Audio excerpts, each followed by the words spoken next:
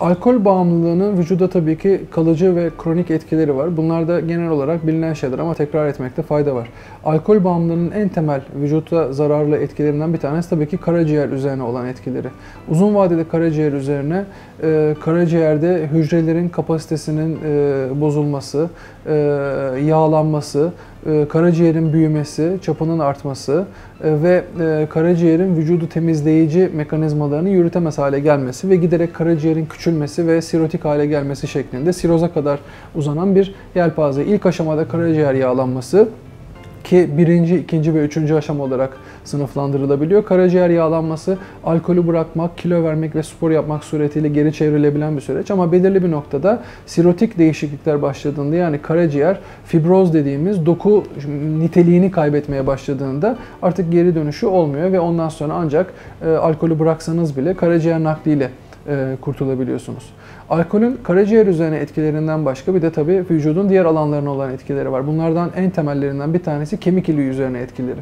Uzun süre alkol kullanan insanlarda kemik iliği baskılanması suretiyle kandaki bazı hücrelerin azalmasını bahsediyoruz.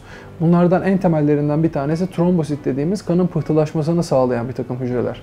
Trombositlerin azalması e, alkol bağımlılarında kanama riskini arttırması ve kronik alkol kullananlarda örneğin çok sık gördüğümüz bir mide kanaması ve mide kanamasının durdurulamaması suretiyle kişinin kaybına yol açabiliyor. Bu nedenle kemik iliğinin baskılanması karaciğer kadar önemli bir durum. Üçüncü noktada çok yoğun alkol kullanan kişilerde daha önceden yatkınlığı olsun veya olmasın, tanı koyulsun veya koyulmasın epilepsi hastalığı ortaya çıkabiliyor. Ve bazen işte bu epilepsi krizi, SARA krizi sırasında yoğun alkolde almışsanız işte e, boğulmak suretiyle veya nefes alamamaktan dolayı bir işte e, kriz geçirmek suretiyle yine e, ölümler e, ortaya çıkabiliyor. E, bir de tabii işte e, önemli belirtilerinden bir tanesi e, kilo alma, e, metabolik bir takım şeylerin bozulması, kolesterolün yükselmesi ve erkeklerde özellikle çok önemli. Testosteron hormonunun işte vücut kıllılığının azalması suretiyle daha sonra işte memelerin büyümesi, jinekomasti, vücut kıllılığının azalması, testosteronun azalması ve erkeklik gücünün ve cinsel gücün e, azalması, ereksiyon problemleri ortaya çıkması. Yani e, kronik alkol bağımlılarında ereksiyon problemlerinin ve cinsel problemlerinin de çok yoğun olarak e, yaşandığını biliyoruz.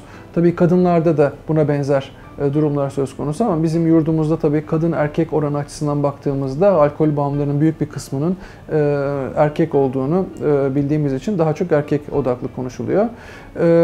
Alkol bağımlılığının tabii bir